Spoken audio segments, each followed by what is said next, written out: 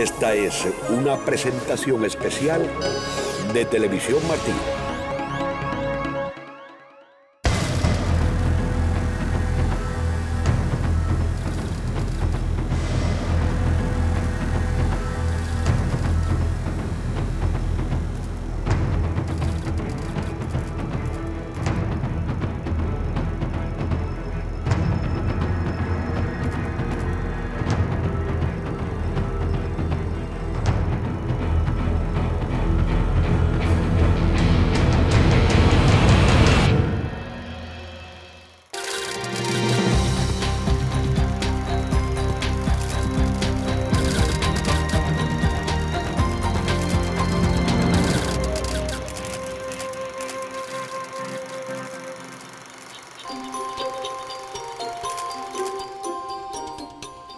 Marta Beatriz Roque Cabello, muchas gracias por acompañarnos hoy. Para mí es un gusto poder estar contigo porque eres una persona vista en Cuba, aunque quieran decir lo contrario. Cualquiera que diga tu nombre sabe perfectamente quién tú eres. Pues para mí es un honor saber eso que me dice y por supuesto entrevistarla. La conozco desde hace tantos años a distancia y finalmente nos hemos conocido en estos días personalmente. Usted lleva casi 30 años dentro de la oposición pacífica en Cuba. Tiene una trayectoria increíble de la cual vamos a hablar durante este espacio, pero quisiera empezar con lo que está haciendo ahora mismo. Usted dirige la Red Cubana de Comunicadores Comunitarios. Específicamente, ¿en qué consiste?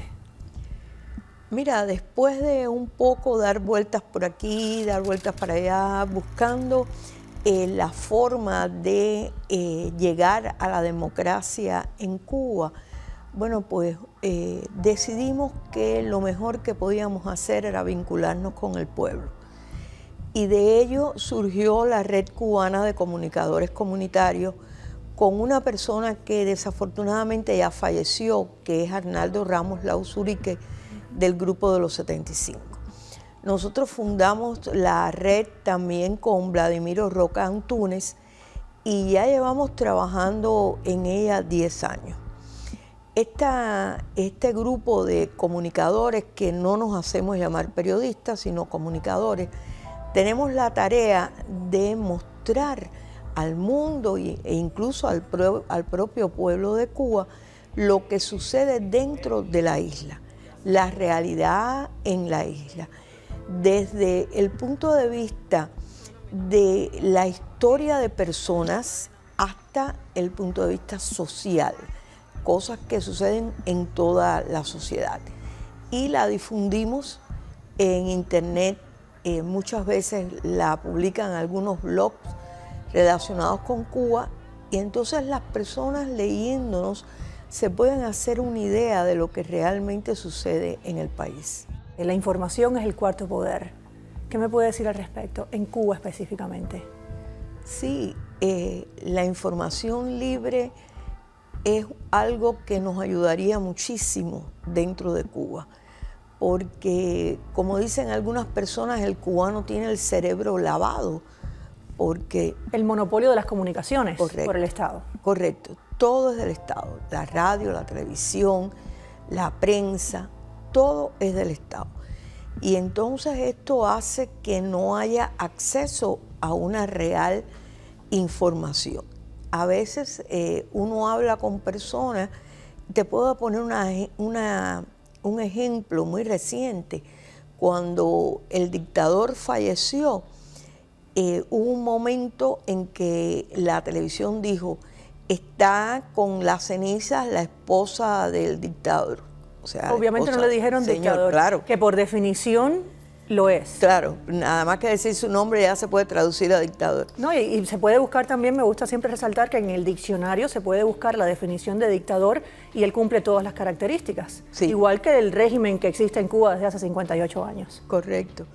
Pues cuando eh, enfocaron a, a, esta señora con sus cinco hijos, bueno, mucha gente se quedó asombrada porque la mayoría de las personas ignoraba que Fidel Castro tuviera con esa mujer cinco hijos, aunque algunas veces decían, no, el hijo de Fidel Castro, pero todo el mundo se enfocaba en Fidelito. Nadie por nada del mundo se podía imaginar que tenía esos hijos hombres, universitarios, muchos de ellos. porque es algo que ha estado escondido durante toda la vida para el pueblo de Cuba. O sea que ahí tienes una idea de cómo no se le brinda información al pueblo. ¿Cómo distribuyen específicamente ustedes la información?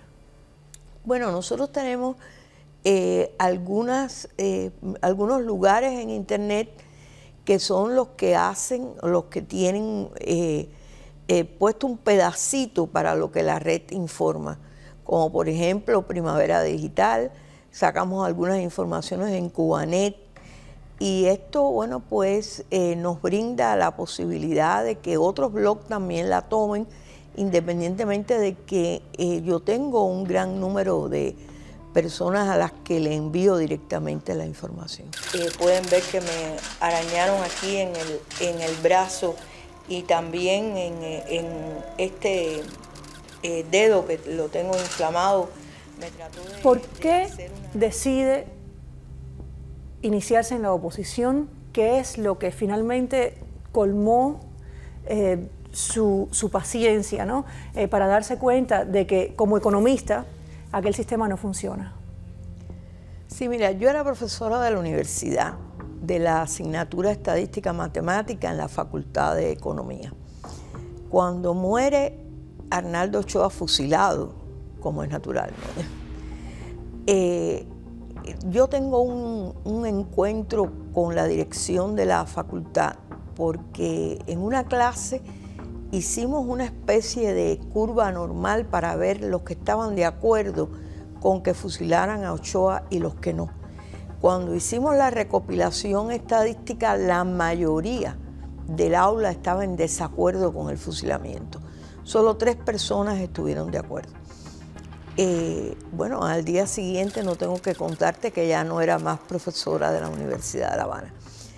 Y esto fue para mí un choque muy grande, porque independientemente de que todas aquellas personas que empiezan a disentir, de pronto no se hacen disidentes, sino que es un proceso en el que comienzas a asimilar toda la mentira que te han dicho, todas las promesas incumplidas, y entonces es que eh, llegas a ese proceso.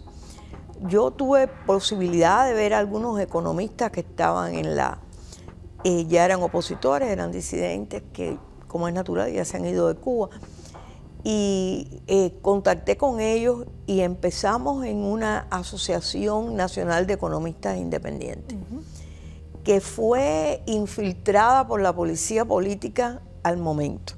O sea, no pasaron seis meses que ya estábamos infiltrados por la, la policía política y entonces decidimos dejar de ser una asociación para convertirnos en un instituto, de forma tal de que pudiéramos escoger las personas que podían entrar en la, en la organización. Eh, todo esto fue vinculándome, en aquellos momentos eh, habían organizaciones especializadas en distintas materias, como los abogados, que atendía a René Gómez Manzano, la doctora Hilda Molina Morejón atendía a los médicos, y bueno, había una serie de especialidades que, eh, profesionales que estaban dentro de, la oposición. Y comenzamos con este camino de analizar la profesionalidad. Llegó La Patria es de Todos. En el año 97. En el año 1997. Vamos a cumplir 20 años de haber escrito La Patria es de Todos. En el año 2017 se cumplen 20 años de haber escrito La patria es de todos. ¿Usted con otros tres opositores? Con otros tres opositores, del cual desafortunadamente falleció Félix Antonio Bonne Carcasés, un profesor de la universidad igualmente.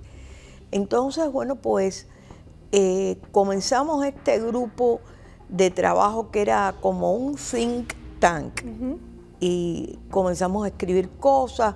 Un día discutíamos de un problema, otro día de otro, y decidimos unificar todos estos problemas y escribir este documento que si tú no lo analizas, Karen, en estos momentos, además de haber pasado tanto tiempo, tiene vigencia. Es vigente, eso mismo le, le, quería preguntar. ¿Todavía ese documento es vigente? Específicamente, ¿por qué? Es que el documento está dedicado a la libertad, a la democracia, las cosas que no se han alcanzado en Cuba todavía. Y producto de ello, pues, eh, cada vez que tú lees un párrafo donde eh, analizan los problemas que hemos tenido eh, dentro del país por las decisiones locas del gobierno, que aún continúan siendo decisiones locas, y entonces te das cuenta de que no hemos progresado en nada. En ese sentido, no hay ningún progreso. Después de la patria de todos, ustedes van presos.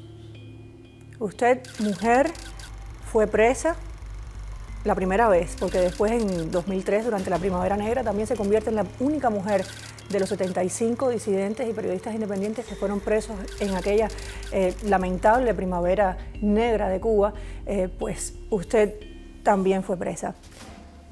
¿Cómo fue la cárcel? La cárcel de mujeres es mucho más mala que la cárcel de hombres. Eso lo dice todo el mundo. Eh, eh, los hombres se respetan más que las mujeres.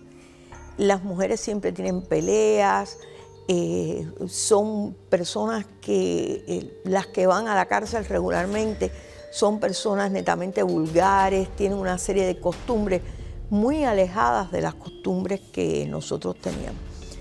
Yo te puedo decir, yo soy una persona católica, practicante, y leía mucho la Biblia en la prisión. Entonces las presas me respetaban bastante porque, bueno, es imposible encontrarse una persona que hable bajito, que no diga malas palabras, que se dirija a las personas con cortesía, con educación. Eso en la prisión es imposible de encontrar. Y bueno, ellas me veían leyendo la Biblia, se acercaban a mí, me preguntaban, conversaban.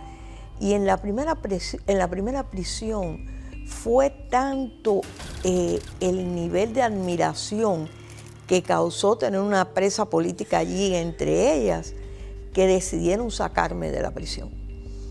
Y me llevaron hacia eh, una casa de contacto de la seguridad del Estado, que estaba bastante cerca de la prisión, ahí en un pueblecito que se llama El Guatao y estaba bastante cerca de la prisión, pero en esa casa estaba yo sola, con un grupo de, que, cambiaban constantemente, un grupo de oficiales de la seguridad del Estado que tenían un autopatrulla.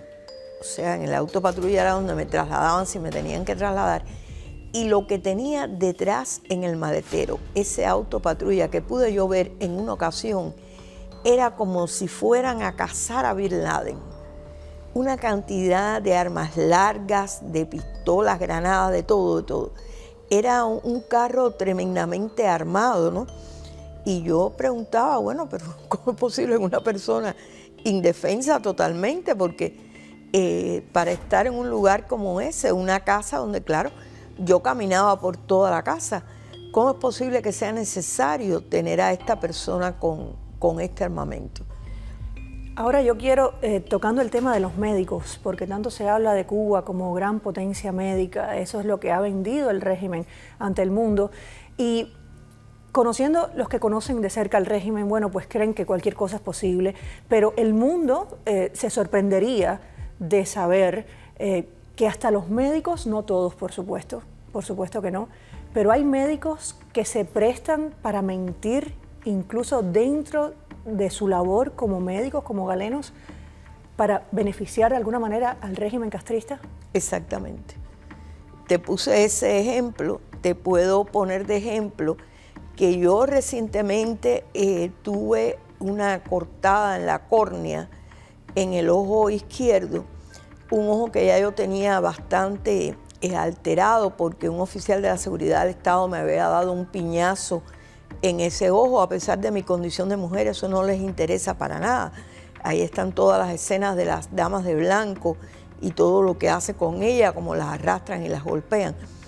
Eh, yo acudí a, a la Liga contra la Ceguera y la doctora que me atendió se prestó indiscutiblemente al hecho de darme una mala atención porque me infectó el ojo y yo estuve más de tres meses con el ojo tapado tratando de quitarme esa infección.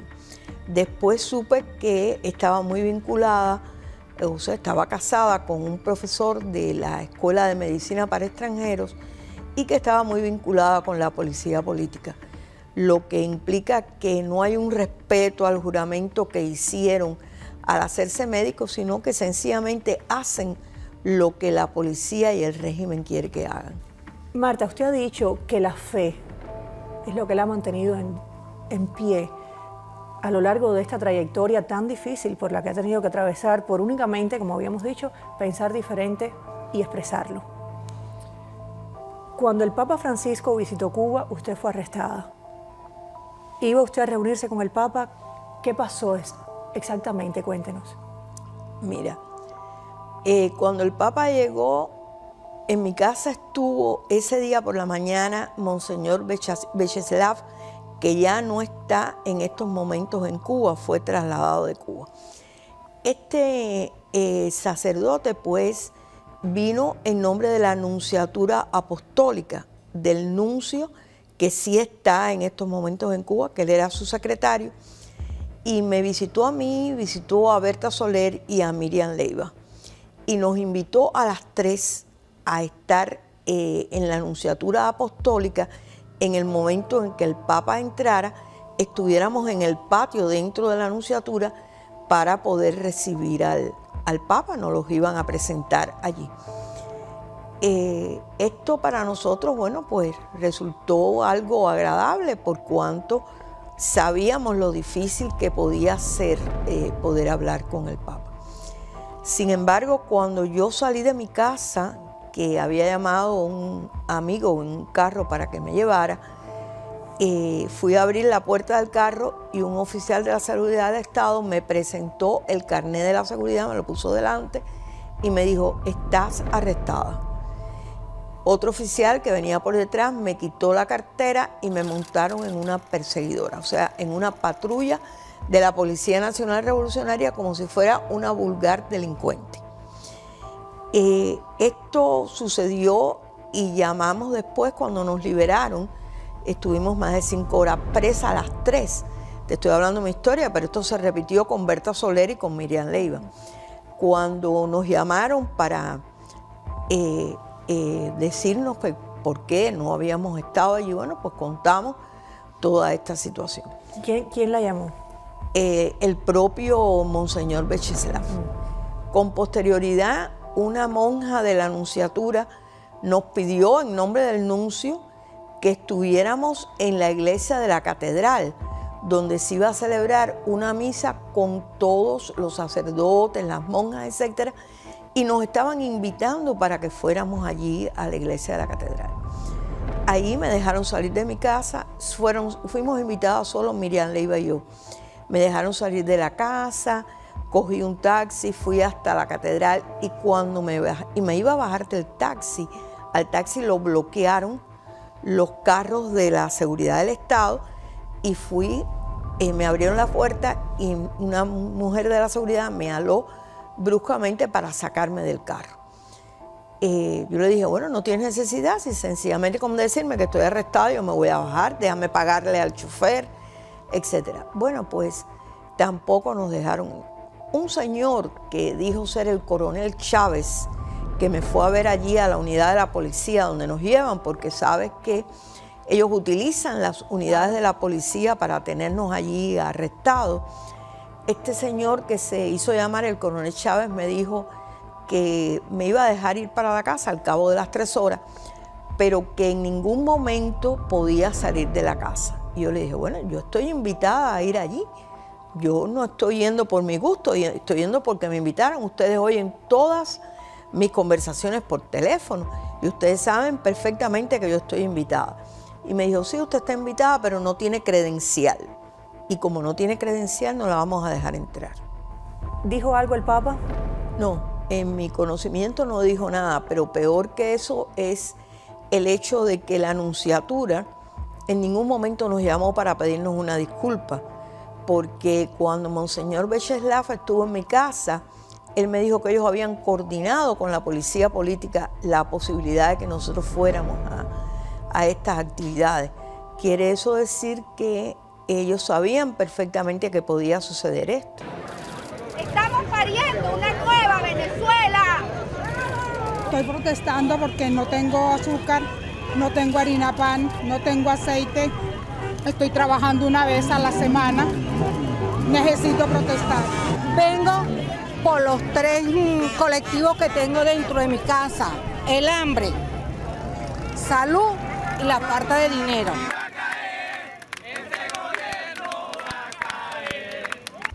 Marta, hemos visto en Venezuela en los últimos años cómo millones de venezolanos han salido a las calles a protestar pacíficamente en contra del régimen de Nicolás Maduro. Han sido violentados, algunos han sido incluso heridos y muertos en estas protestas, de nuevo pacíficas por parte de la oposición venezolana. Pero así todos los venezolanos siguen saliendo a las calles pidiendo libertad y por supuesto una vida mejor dentro de Venezuela, que está pasando por una crisis económica y social eh, muy grave. ¿Cuál es la diferencia entre ese pueblo venezolano que está saliendo a las calles masivamente y el pueblo cubano? ¿Qué pasa? Bueno, Venezuela tiene algo que no tenemos nosotros en Cuba, que es información. Todavía le queda información. Venezuela entera en la calle hasta conquistar la libertad. Todavía le queda poder movilizativo a, los opositores, a la oposición allá en Venezuela. Nosotros ni tenemos eh, posibilidad de información ni tenemos poder movilizativo, para nada. Nosotros eh, nada más que hacemos salir a la calle y ya estamos presos. ¡Libertad! ¡Libertad! ¿Qué ha hecho? Vamos, siéntate, siéntate, hazme caso. ¿Qué hizo? Siéntate ahí, hazme caso. ¿De qué están acusando? ¡Vivan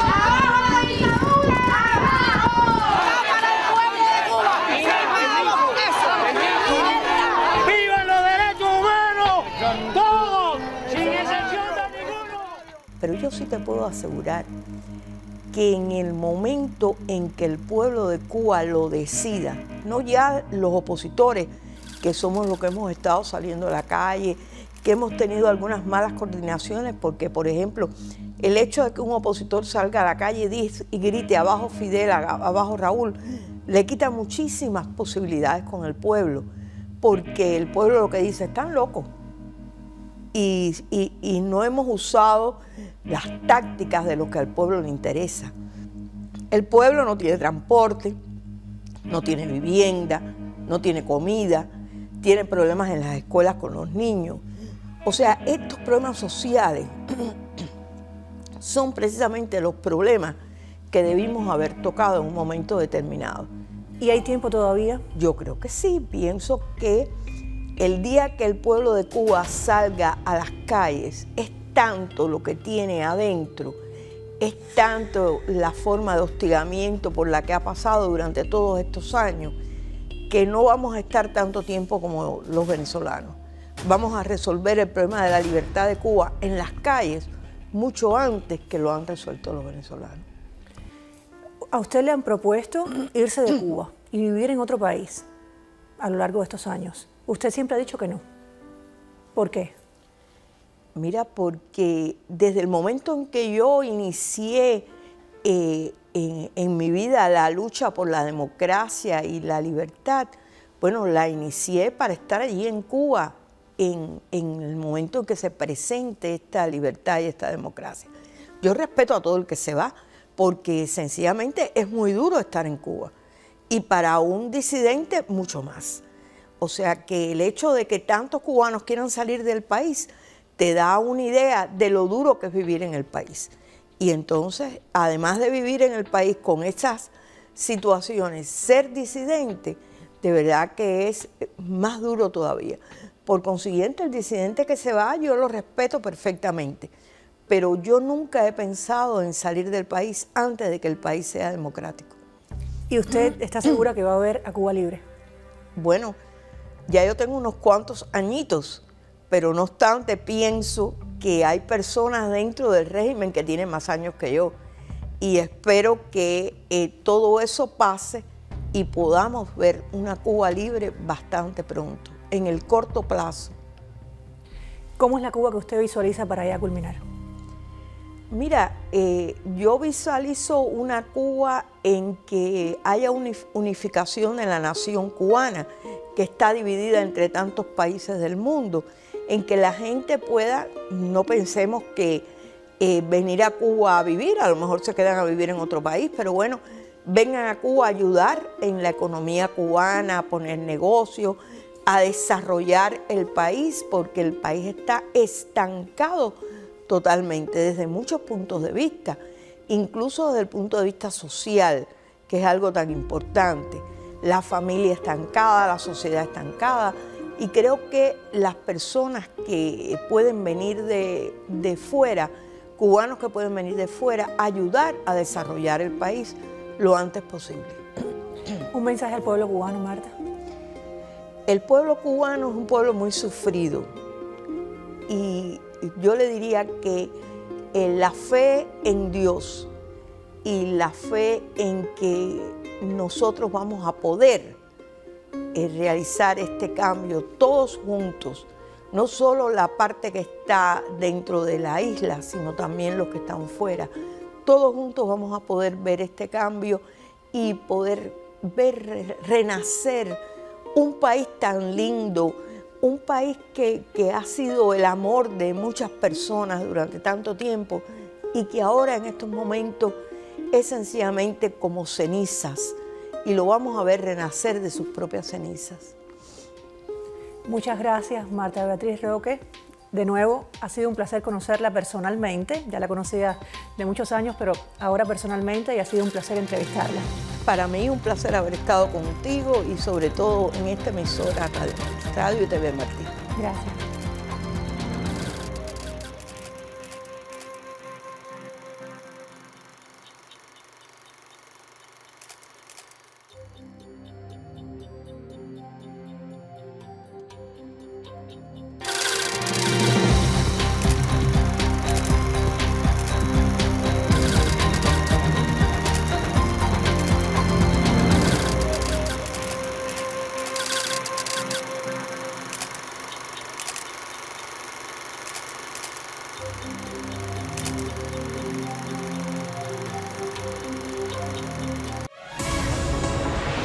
Esta fue una presentación especial de Televisión Martín.